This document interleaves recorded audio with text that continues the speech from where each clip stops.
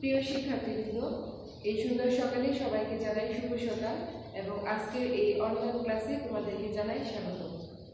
দশম শ্রেণির শিক্ষার্থীরা, তোমরা ইতিমধ্যে জীববিজ্ঞান বিষয়ে একটি ক্লাসে অংশগ্রহণ করেছ এবং সেখানে আমরা দেখতেছিলাম যে দ্বাদশ অধ্যায়ের বংশগতি ও বিবর্তন।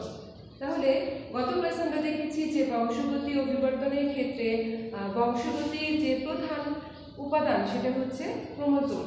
তাহলে আমরা ক্রোমোজোমের গঠন দেখেছি। এখন আজকে আমরা যে বিষয়টি নিয়ে আলোচনা করব, সেটা হচ্ছে ডিএনএ।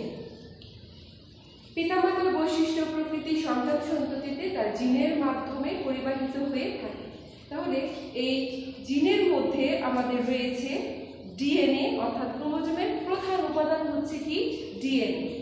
তাহলে ডিএনএ কে যদি আমরা সম্পূর্ণ ভারতে চাই ডি এন এ ডি দিয়ে হচ্ছে ডি অক্সি রাইবো এন দিয়ে হচ্ছে নিউক্লিক এ দিয়ে হচ্ছে অ্যাসিড আমি তোমাদেরকে শুরুতে অনুরোধ করছি, তোমরা তোমাদের পাঠ্য বইয়ের দ্বাদশ অধ্যায় তোমরা দুইশো সাতান্ন পৃষ্ঠা খুলবে। পৃষ্ঠা দুইশো সাতান্ন।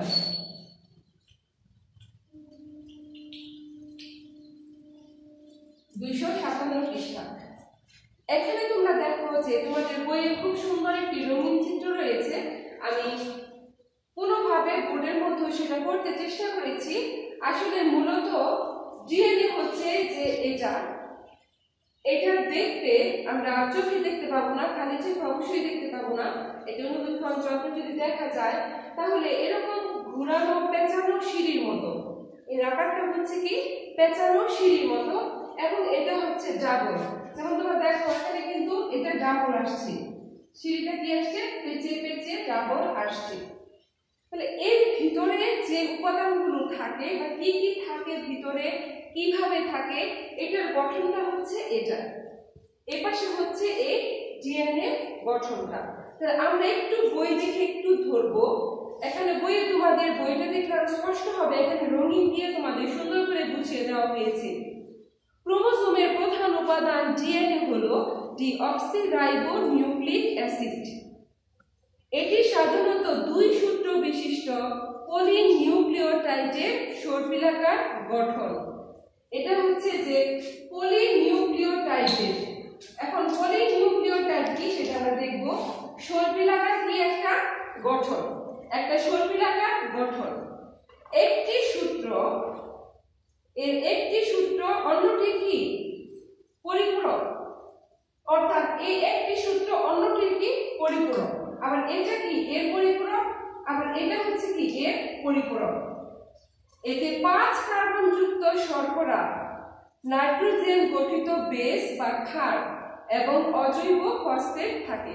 আমি তোমাদের অনুরোধ করব তোমরা এটা নিচে আন্ডারলাইন করো সবাই। পাঁচ কার্বন যুক্ত শর্করা। অর্থাৎ এটার মধ্যে যে শর্করাটা থাকে, সেটা হবে পাঁচ কার্বন বিশিষ্ট এবং আরও থাকে নাইট্রোজেন গঠিত বেস। এখন এই যে নাইট্রোজেন গঠিত বেস বা ক্ষার, এটার মধ্যে কি কি আছে দেখো? চারটা উপাদান আছে। অ্যাডিনিন, গুয়ানিন, সাইটোসিন ও থাইমিন। এখানে তোমরা সংক্ষেপে নামগুলো দেখতে পারবে। Adenine, guanine thymine, cytosine. তাহলে এই চারটা উপাদান কি নাইট্রোজেন গঠিত বেস এই চারটা উপাদান মিলে হচ্ছে কি? নাইট্রোজেন গঠিত বেস বা ক্ষার এই তিনটি উপাদানকে একত্রে নিউক্লিওটাইড বলে। আমি আবারও বলছি যে এই তিনটি উপাদান হচ্ছে পাঁচ কার্বনযুক্ত শর্করা, নাইট্রোজেন গঠিত বেস এবং অজৈব ফসফেট এই তিনটা উপাদানকে একত্রে বলা হয় নিউক্লিওটাইড। তাহলে প্রথমে আমরা দেখেছিলাম যে এই নিউক্লিওটাইড দিয়ে কি? এটা কি করা থাকে? সিঁড়ির মধ্যে একটা নিউক্লিওটাইডের কি? গঠন। শৈলাকার গঠন পলিনিউক্লিওটাইড। পলিনিউক্লিওটাইড মানে কি? অনেক গুণ। শুধু নিউক্লিওটাইড, নিউ, নিউক্লিওটাইড, এটার সাথে পলি যোগ হলে কি হবে? অনেক গুণ। পলি মানে কি? অনেক। তাহলে এখানে হচ্ছে পাঁচ কার্বন বিশিষ্ট কি শর্করা, নাইট্রোজেন গঠিত বেস বা ক্ষার এটার মধ্যে রয়েছে সাইটোসিন, অ্যাডেনিন, গুয়ানিন আর হচ্ছে কি অজৈব ফসফেট। এই উপাদানগুলো কি? এই ডিএনএ গঠনের ভিতরে অবস্থান করে। ডিএনএ ক্রোমোজোমের স্থায়ী পদার্থ। অর্থাৎ এটা এরকম না যে এখন আছে বা এখন নেই বা আছে, চলে যেতে পারে, এরকম না। এটা হচ্ছে ক্রোমোজোমের একটা কি পদার্থ স্থায়ী পদার্থ। মার্কিন বিজ্ঞানী ওয়াটসন এবং ইংরেজ বিজ্ঞানী ক্রিক নাইনটিন ফিফটি থ্রি, অর্থাৎ উনিশশো তিপ্পান্ন সালে প্রথম ডিএনএ অণু double helix. Next double helix মানে যে এটাকে বলা হয় কি? Double helix. বা দ্বিসূত্রী কাঠামোর বর্ণনা দেন এবং এই কাজের জন্য তারা কি পান? নোবেল পুরস্কার পান। নাইট্রোজেনের বেসগুলো দু ধরনের। নাইট্রোজেনের বেসগুলো কি? দু ধরনের কি কি দেখো? পিউরিন এবং পাইরিমিডিন। দুই ধরনের। একটা হচ্ছে পিউরিন, একটা হচ্ছে কি? পাইরিমিডিন।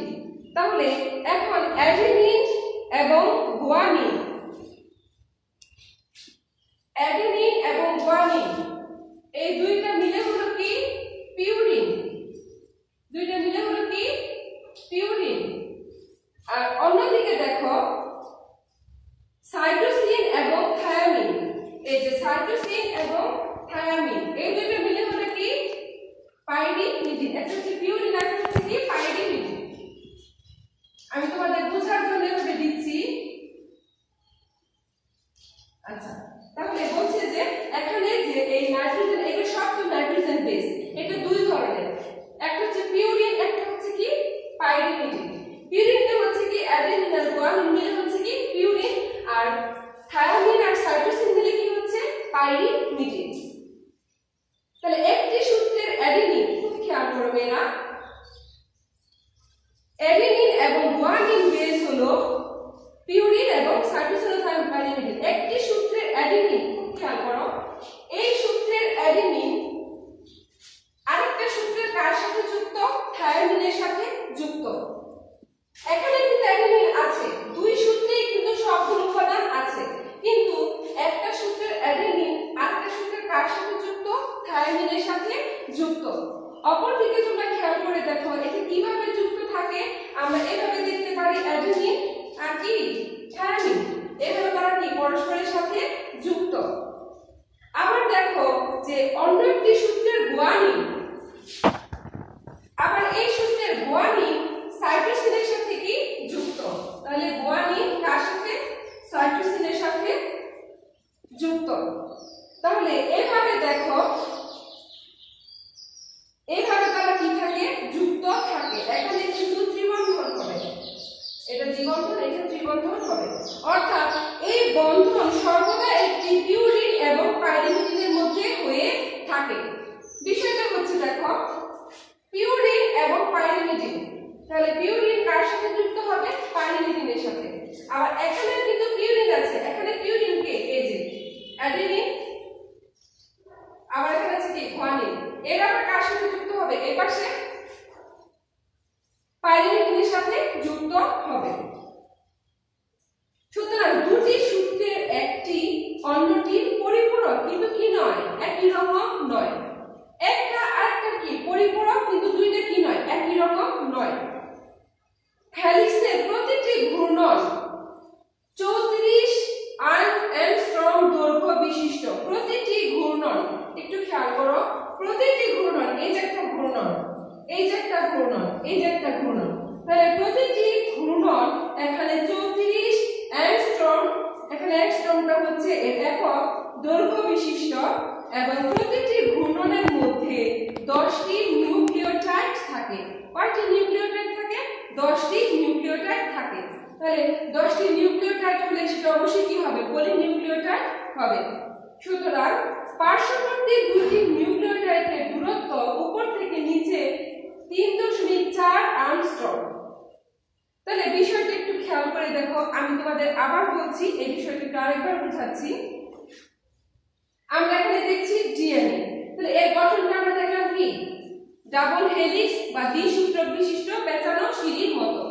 এখানে এই ডিএনএ এর মধ্যে তিনটি উপাদান থাকে, নাইট্রোজেন গঠিত পদার্থ, তারপর বেস, কার্বন পাঁচ কার্বন যুক্ত শর্করা এবং আরেকটা হচ্ছে কি? অজৈব ফসফেট। তাহলে এই তিনটি উপাদানকে একত্রে বলা হয় কি? নিউক্লিওটাইড। তিনটি উপাদানকে একত্রে বলা হয় কি? নিউক্লিওটাইড। তারপর দেখো, এখানে যে আমাদের এই নাইট্রোজেন বেসগুলো এই নাইট্রোজেন বেসগুলো কয় ধরনের? দুই ধরনের। একটা হচ্ছে পিউরিন আর একটা হচ্ছে কি? পাইরিমিডিন তাহলে একটা সূত্রে পিউরিন আর একটা সূত্রে কার সাথে যুক্ত থাকে? পাইরিমিডিনের সাথে যুক্ত থাকে। তবে এখানে অ্যাডেনিন যুক্ত হবে থায়ামিনের সাথে গুয়ানিন যুক্ত হবে কার সাথে? সাইটোসিনের সাথে। তাহলে দেখা যাচ্ছে যে একটা আরেকটার পরিপূরক, একটা সূত্র আর একটা সূত্রের পরিপূরক, কিন্তু দুইটা সূত্র কি নয়? একই রকম নয়। ডিএনএ দুটি পলিনিউক্লিয়েটেড সূত্র বিপরীতভাবে কি করে? অবস্থান করে অনেকটা পেঁচানো সিঁড়ির মতো। এই যে, এখানে দেখো দুইটা সূত্র, ঠিক না? এই যে একটা সূত্র, এই যে একটা সূত্র। দুইটা বিপরীতভাবে পেঁচানো সিঁড়ির মতো তারা কি করে? অবস্থান করে। তাহলে ক্ষারগুলো সাহিত্যভাবে প্রধান অক্ষের সাথে লম্বভাবে এই নাইট্রোজেন গঠিত বেসগুলো কিন্তু মেয়েরা, এই যে এখানে অবস্থান করে। একটু খেয়াল করে দেখো, এখানে অবস্থান করে। এই যে আমরা যেগুলো দেখাচ্ছি এখানে গঠনটা, এটা কিন্তু সিঁড়ির এখানে মাঝখানে সারিত অবস্থায় কি করে? অবস্থান করে। অর্থাৎ ডিএনএ অণুর বাইরের দিকে দণ্ড দুটি প্রধান অক্ষের পর পর সুগার এবং ফসফেট দিয়ে গঠিত। এবং এদের ভিতরের দিকে নাইট্রোজেন বেস কি করে? অবস্থান করে। বাইরের দিকে দণ্ড দুটি। এই যে বাইরের দিকে দণ্ড দুটি, এটা হচ্ছে কি? যে প্রধান অক্ষ পরপর সুগার ও কি দিয়ে গঠিত ফসফেট দিয়ে গঠিত। এবং ভিতরের দিকে কি থাকে? এই ভিতরের দিকে কি থাকে? নাইট্রোজেন বেস প্রকৃত কোষেও ডিএনএ সূক্ষ্ম সুতার মতো, কিন্তু আদি কোষের ডিএনএ সাধারণত কি হয়ে থাকে? গোলাকার হয়ে থাকে। তাহলে প্রকৃত কোষ আমরা আদি কোষ, প্রকৃত কোষ পড়েছি প্রকৃত কোষের ডিএনএ সূক্ষ্ম সুতার মতো। আর আদি কোষে কি হয়ে থাকে? বা গোলাকার হয়ে থাকে। এবং এর দৈর্ঘ্য কয়েক মাইক্রন থেকে কয়েক সেন্টিমিটার পর্যন্ত কি হতে পারে? এটি হাজার হাজার নিউক্লিওটাইডের বা নিউক্লিক অ্যাসিডের সমন্বয়ে কি গঠিত? নিউক্লিওটাইড, হাজার হাজার নিউক্লিওটাইডের সমন্বয়ে গঠিত। ডিএনএ ডবল হেলিক্সের ব্যাস সর্বত্র 20 আর্মস্ট্রং। ব্যাস এটার ব্যাসটা হচ্ছে কি? 20 আর্মস্ট্রং। ডিএনএ ক্রোমোজোমের প্রধান উপাদান এবং বংশগতির কি? রাসায়নিক ভিত্তি। বারে বারে মেরে কথা আসতেছে যে ডিএনএ হচ্ছে প্রধান উপাদান এবং বর্তমানে ডিএনএ নাম তোমরা অনেক শুনে থাকো। যে ডিএনএ টেস্ট করা হয়, অপরাধী শনাক্তকরণের জন্য বা কোনো কিছুতে সন্দেহ থাকে সেখানে ডিএনএ টেস্ট করে সেটা কি করা হয়?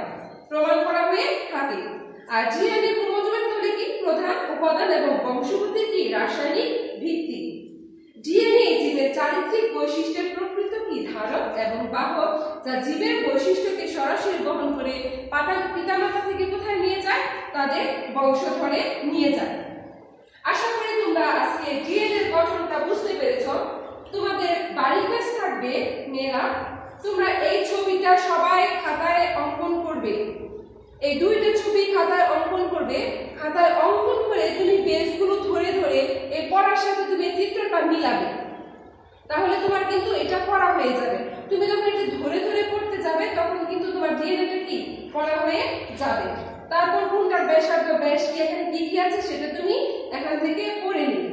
এরপর দেখো তোমাদের দুইশো আটান্ন পৃষ্ঠে একটা দলগত কাজ আছে।